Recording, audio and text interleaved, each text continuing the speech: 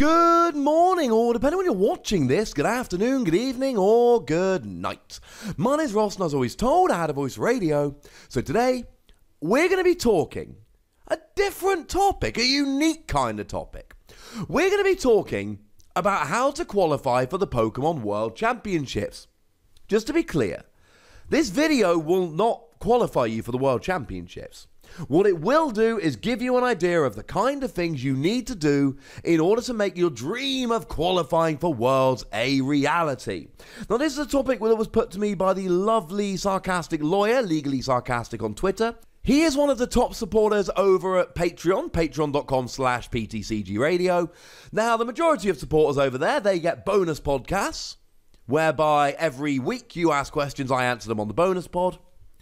But the top level of supporters, like the lovely Legally Sarcastic, get to say, Wossy, make me a video. And this is what he suggested. And I thought, you know what? I can make a good video about this. Now, the first thing, and this is going to be kind of obvious, but I'm going to go there anyway make good Pokemon decks. If you don't make good decks, you ain't going to do well. Zoroark, Buzzwole, Rayquaza, these are all decks that have had success in the past. They are good decks. And I'm sorry, but that's the way it is. Rogue decks, counter decks, like the video we talked about the other day, these are fun. And a lot of the time, players get a real sense of satisfaction doing well with an underrated deck. I certainly do, and I've played a lot of weird rogue decks. But the reality is, if you look at the top performers tournament after tournament, they're playing the big decks. So you might be thinking, Wossy, how do I find out what these decks are? How do I know about the good decks? Well, firstly, I do videos about them on this channel. When a good deck comes around, I will show you a video about it, I'll explain how it works, and I'll give you a list. The thing is, you can't just get a deck list, you need to understand how the deck works. Channels like this, and there are others, but I'm going to suggest you probably use this one, will help you to play those decks. If you want a deck list, honestly, I'm going to suggest limitless.com. And the reason, very simply, is they are my favourite. When I want to know what decks are doing well at recent tournaments, that's the website I go to. When I want to go and get a deck list for one of those decks, that's the website I go to. They will list out all of the good decks at the moment, they will show you what decks are good, and anytime they can, they will give you a deck list. And if you're a newer player, especially, you should learn by playing other people's decks. The more you play, the more decks you play, the more games you play with a particular deck, you will naturally start making changes. And most of the time, just picking up a deck and playing it won't give you the optimal experience because it doesn't fit your playstyle. You need to discover that by playing a lot of games. But you need to play good decks. If you don't play good decks, you're not going to get to Worlds. For newer players, especially, find good decks, take other people's lists, test them out, and play as many games as you possibly can. That's how you end up doing well at tournaments. At the recent World Championships, a bunch of Australian players came around with a deck using the Baby Buzzwole Haynek and Garbodor and Shrine of Punishment. It was an unforeseen deck. It was a deck that countered the metagame. It was a deck we didn't see coming. And they did extremely well with it. But here's the thing that was a group of players, all of which had qualified for the World Championships. So they had that knowledge, they had that base. Newer players are unable to be able to just jump straight into that. You need to build up to that.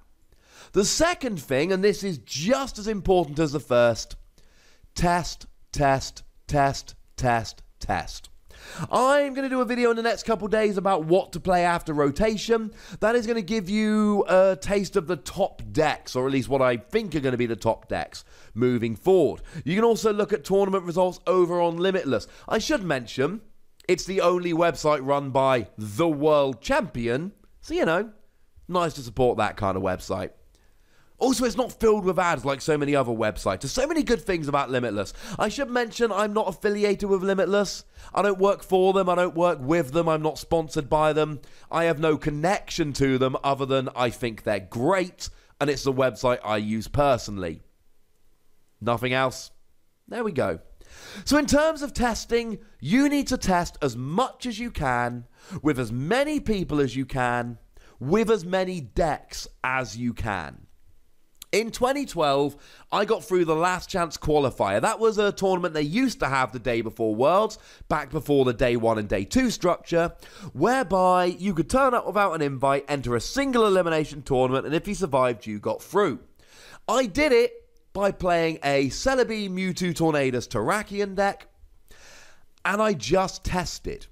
I tested the mirror match playing the same deck over and over and over again. The other big deck at the time was Darkrai. So I tested against this over and over and over and over again. I played, and they really were the only two big decks at the time that I was worried about. And I knew that from checking tournament results. And I tested again and again and again. And I refined my list until I could beat both of those decks most of the time. Had I just picked up that deck and played a few games, I would have lost in round three. Or maybe even round one. But because I knew what I was doing and I tested, and there is no substitute for testing, the best players in the world test the most. Robin Schulz, who just won Worlds, he tests a ridiculous amount. Tord Reklev, who's won three of the international championships we've had so far, tests a ridiculous amount. The more you test, the better you get. The more people you test with, the better you get. There is PTCGO, the official online client of the Pokemon trading card game. But you need to be a bit careful because sometimes people play decks on there that are just trying to win challenges within the game, as in PTCGO. People test out weird things on there. It's good for knowing if your deck works, and especially if you can play with other players and you know what they're playing, that's really good. Random games on PTCGO are very hit and miss. They're good for just seeing if your deck sets up and works, but you will play against some weird decks that are not necessarily representative of what you're going to play against if you play in an actual tournament. Just a word of warning there test with as many decks as you can against as many decks as you can. Because the more decks you test against, the better it is. You might have no intention of playing Necrozma Malamar in a tournament.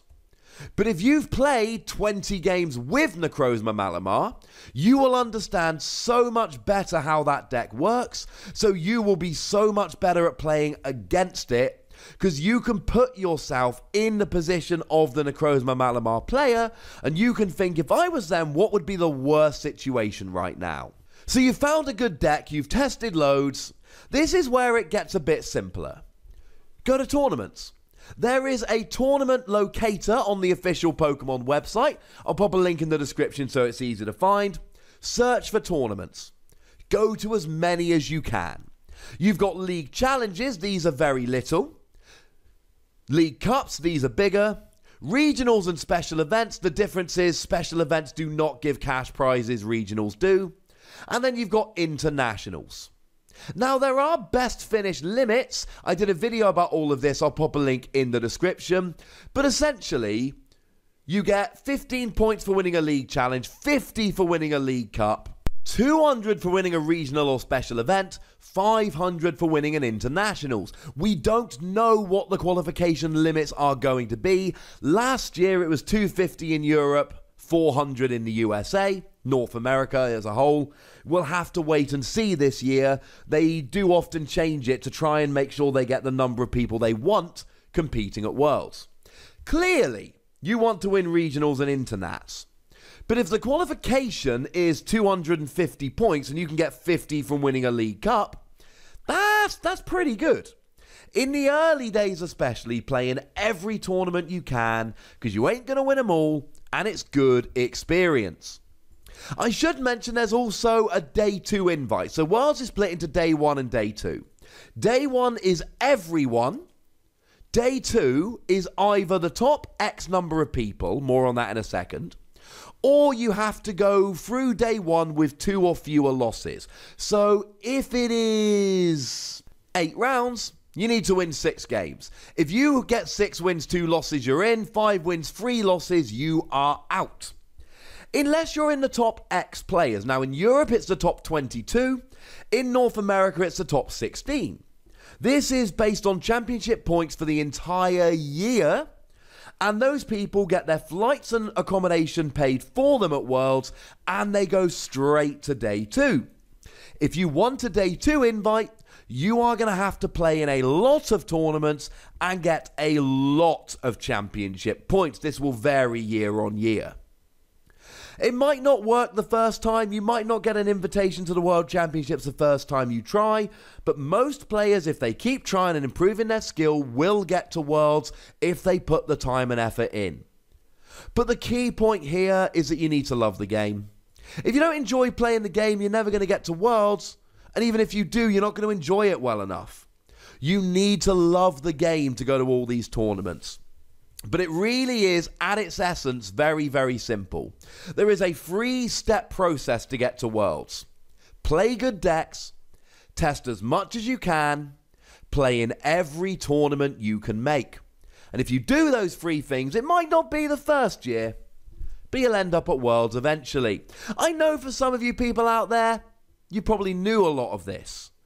But I know there's a lot of players have asked me this over the years. Plus, you know, Lovely chap requested it on Patreon, and it'd be rude to say no. So there we go, ladies and gentlemen. If you've got any other tips for getting to Worlds, chuck them in the comment section. If you've got any questions, chuck them in the comment section, and hopefully myself or somebody else will get around there. Let me know, ladies and gentlemen. Go nuts, but be nice. Make sure you like this video, subscribe to this channel, follow me on Twitter at the Wossy, and Twitch for some live action at twitch.tv slash PTCG Radio. If you want to support the channel, get some bonus podcasts, and maybe even request your own video, well, that, ladies and gentlemen, is why you would go to patreon.com slash PTCG Radio.